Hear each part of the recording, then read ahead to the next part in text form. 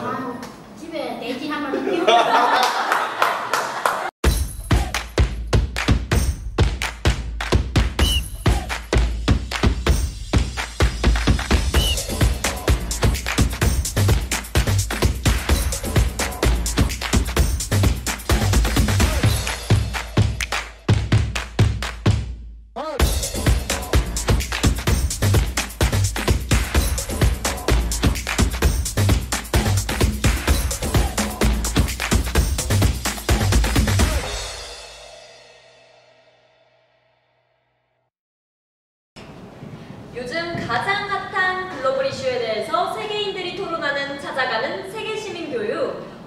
마지막 촬영이 다가왔습니다. 저의 마음을 아는 것처럼 몇 주째 장마가 이어지고 있네요. 한국 날씨 다들 잘 적응하고 계신가요? 네. 네, 더운 나라에서 오신 분도 계시고 추운 나라에서 오신 분들도 계신데 오늘의 발제자는 더운 나라에서 오신 분이에요. 누굴까요? 타라! 여입니다. 네, 바로 자연과 함께 공존하는 나라 케냐 출신의 무사 씨예요. 반갑습니다. 네. 무사 씨 케냐에 대해서 간단한 소개 한번 부탁드려요. 네. 그 케냐는 아프리카 대륙 안에 있어요. 그다음에 케냐는 위치가 동아프리카 쪽으로 있어요. 그러면 아프리카 대륙 생각하면 거의 오- 그 60, 아, 54개 국가 정도 있어요. 그다음에 케냐는 수도는 나이로비예요. 그다음에 사실 나이로비는 특별한 뜻이 있어요. 나이로비 마사이 말로 그 뜻이가 시원하는 곳이에요. 왜냐면 그 나이로비는 진짜 가면 그런 거 에어컨 정도 없어요. 왜냐면 진짜 하나도 안 더워요. 거의 한국 봄 아니면 한국 가을 날씨 그렇게 생각하면 돼요. 어, 저는 아프리카라서 당연히 더울 줄 알았는데 전혀 아니었군요. 맞아요. 대부분들이 그렇게 생각해요. 혹시 그 대구도 대프리카? 맞아요, 그러니까 한국 처음 왔을 때는 진짜 이해 못했어요. 아? 와 케냐보다 한국 여름 목소리 더 더워요. 맞아요. 진짜. 네. 네. 그다음에 종교적으로 50% 크리스토, 크리스티안스. 그다음에 이 10%는 무슬림. 나머지 10%는 그 가진 정도 있어요. 어, 그렇다면 무사 씨, 케냐의 환경과 관련된 이슈로는 어떤 것들이 있나요? 와 사실 케냐는 환경적으로 진짜 이슈도 있어요. 요즘에는 그 비닐 플라스틱 네. 그거는 진짜 큰 이슈예요. 그것 때문에 국가적으로 새로운 policy 발생했어요. 그리고 케냐에서는 비닐 플라스틱 아예 쓸수 없어요. 거의 다그 종이 플라스틱 아니면 종이 포장 막 쓰고 있어요. 네. 그렇군요. 어, 현대 사회에서는 개발도 좋지만 무리한 개발은 환경 파괴를 불러일으키는 것 같습니다. 어, 동남아시아인 베트남, 인도네시아, 태국도 건기와 우기로 나뉘나요? 베트남은 북쪽에 상대적이거든요. 근데 남쪽에 원래 아, 우기와 건기만 있습니다. 근데 베트남에 모토바이가 있으니 모토바이만 있으니까 별로 운기 좋지 않습니다. 음. 인도네시아도 그 우기와 군, 군기 이렇게 두, 개, 두 개로 나눠져요.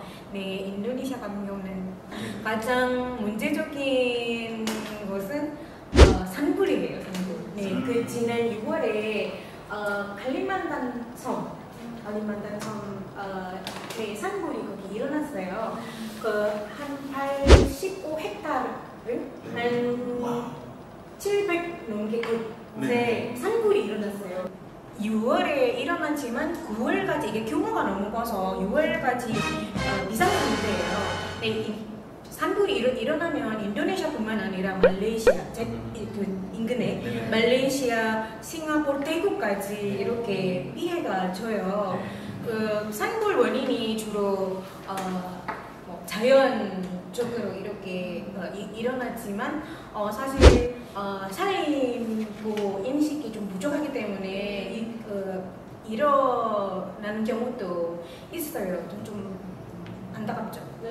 태국도 산불은 이번 세 달, 네 달 전에 좀 북쪽에서 많이 좀 생겼어요. 그게 뭐 날씨가 조금 좀 이상하니까 좀 많이 덥고 그리고 태국에서는 우기가 5월 중순부터 한 10월까지 쯤에 있어요. 그래서 우기가 좀 길다 보니까 태국에는 홍수가 많이 나요. 그리고 매년 강수량이 다르기 때문에 완벽, 완벽하게 막 끌 수가 없어요. 해는 반대로 어, 쌀 계절이 있지만 어, 대부분 겨울이에요. 네, 그리고 어, 12월부터 3월까지 자주 많이 눈이 오고 자, 엄청 추워요. 제가 어, 학생이 대학생이었을 때 대형 마트 주택장 일하고 아무도 그 영하 40도, 45도 그래 갔어요. 그리고 네, 뜨겁게 입이 뭐 그런데 캐나다 네, 네, 지구 온난화 때문에 어, 조금씩 어, 더 더워지고 있어요. 음. 지구 온난화가 생각했던 것보다 더 심각한 것 같네요. 뭐 그렇다면 프랑스는 어떨까요?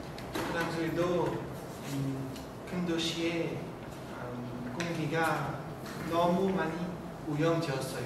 음, 여름에 음, 기후 변화 때문에 너무 많이 더워요.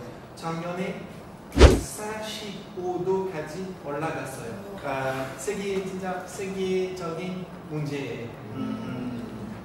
중국은 그 요즘 그 미세먼지 문제가 조금 심각해요. 네, 중국 정부에서도 그 미세먼지 감축을 위해서 계속 노력하고 있어요. 그 통계로 보면 음, 중국에서 석탄으로 인한 그 대기 오염은 74% 정도로 차지하고 있어요. 그래서 그 정부는 이런 문제를 그 해결하기 위해서 어, 엄격한 그 어, 환경 법률을 제정하고 그 환경 음, 요구에 맞지 않는 공장들을 다 폐쇄시키고 있어요. 또는 그 다들도 아다, 아다시피 그 중국에서는 그 설날은 제일 중요한 명절인데 그 음력 정월에서 1월 네 음력 1월에서는 그 폭죽 많이 터뜨리는 네 많이 많이 터뜨리는 거 우리 그 어, 오래된 전통이에요. 그런데 그것도 환경에 좋지 않잖아요. 네, 그래서 네, 그 환경 보전을 위해서 정부에서 많은 도시에서 정부가 그 폭죽 터뜨리기를 금지해요. 네, 그, 그런데 처음에는 민중들이 반대하죠. 근데 요즘은 네, 대부분 사람들이 받아들여요. 테일러 씨의 생각은 어떠세요? 캐나다도 아직 그 전기 자동차 이용하지 않아요.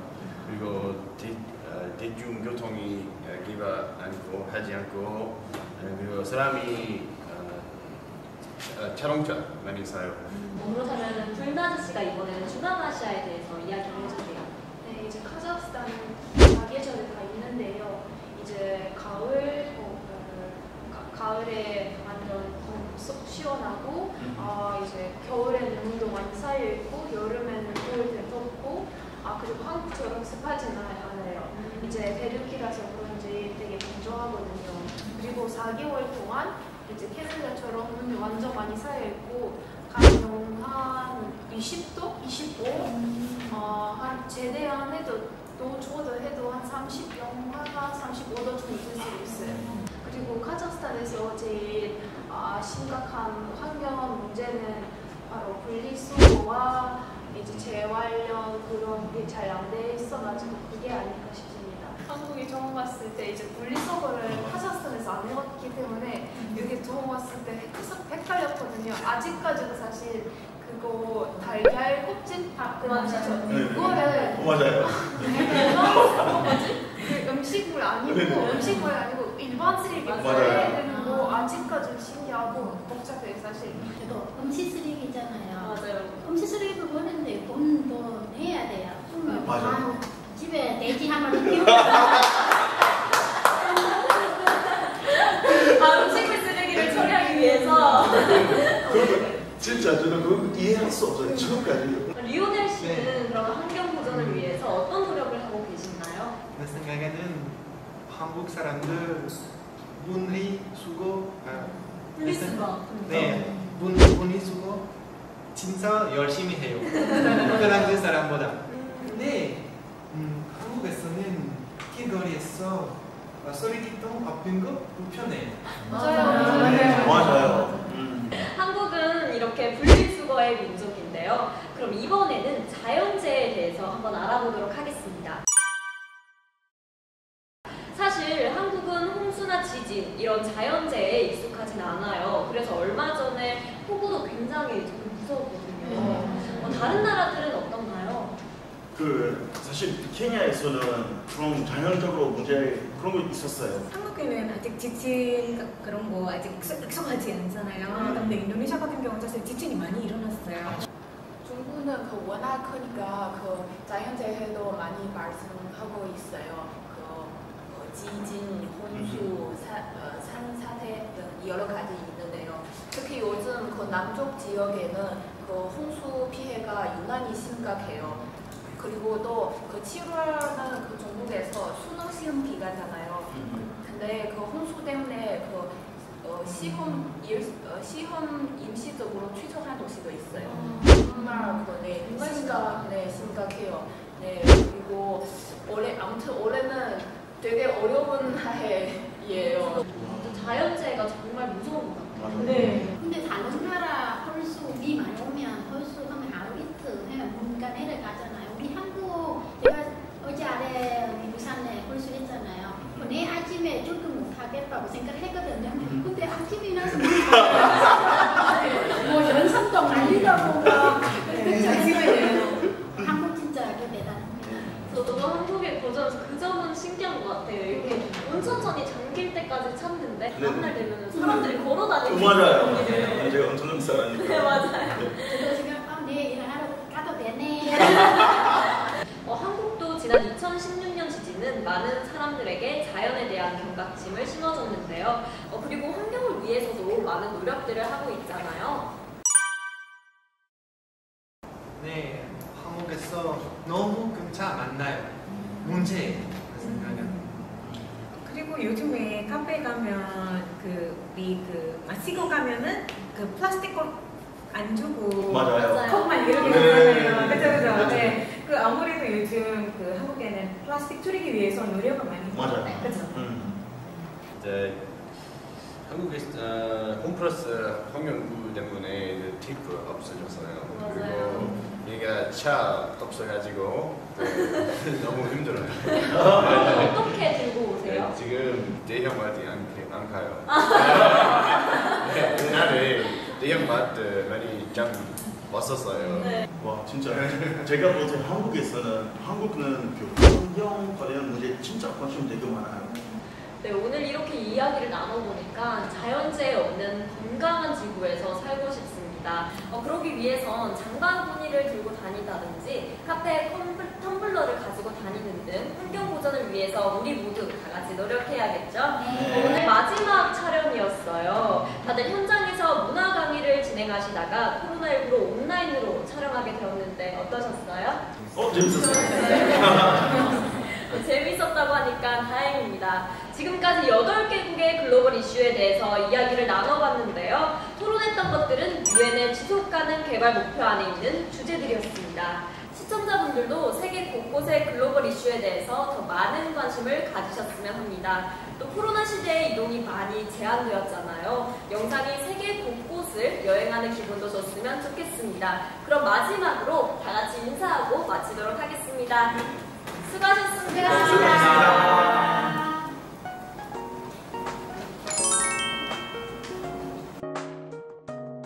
제가 카자흐스탄에 대해서 아는 것들을 공유하고 제가 모르는 또 새로운 정보를 얻을 수 있어서 되게 좋았습니다. 이 프로그램을, 프로그램을 통해서 그 저도 많이 지식을 배우고 그 새로운 친구도 만났어서 정말 좋아요. 새로운 사람 만나고 새로운 한국어 단어 배웠어요. 조금 힘들었지만 한국어로 배웠어요. 와 제가 2주 동안 이건 이거 세계 시민 교육 프로그램 같이 해보니까 진짜 너무 좋고 재밌고 진짜 많이도 배웠어요. 그러면 이 프로그램 통해서 지금 새로운 친구도 생겼어요. 오케이. 한달 동안 이렇게 촬영하다 보니까 너무 즐거웠어요. 네, 아, 또 다른 기회에서 만나요. 처음에 좀 긴장했지만 짱짱하고 너무 재밌습니다. 기회 있어서 너무 좋습니다. 너무 감사합니다. 여러, 여러 나라가 어, 다른 문화가 관습이 배웠어요. 너무 재미있어요. 전 세계적인 이슈를 이렇게 많이 이렇게 알게 되니까 정말 재밌고 정말 신기했어요. 그리고 나중에 혹시 이런 기회가 더 생긴다면은 저, 제가 꼭 참, 그 참여하도록 할게요.